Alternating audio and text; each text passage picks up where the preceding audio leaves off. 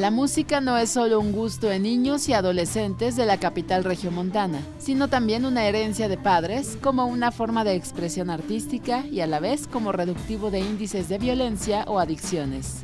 Más de 3.000 niños y jóvenes de sectores populares acuden a talleres de música impartidos en 26 centros dispuestos por la Secretaría de Desarrollo Social en Nuevo León. Aproximadamente a los 8 años empecé yo a desarrollar instrumento. Eh, pues mi familia es, mi papá es músico, mi abuelo es músico y pues eh, ellos me impartieron más así de que me dio por conocer la música. Y pues desde los 8 años eh, estoy aprendiendo. Ah, aquí en el centro comunitario tengo aproximadamente dos años.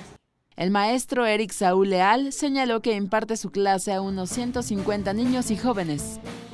El curso se trata de acercar a las personas a, la música, pero no solamente a la música comercial, sino a la música eh, eh, que no sale en los medios de, de comunicación masivos. De acuerdo a la Secretaría de Desarrollo Social en Nuevo León, los índices de violencia y de adicciones se reducen al dar a niños y jóvenes alternativas de expresión a través de la música. Con información e imágenes de Plácido Meléndez, corresponsal en Monterrey, Notimex.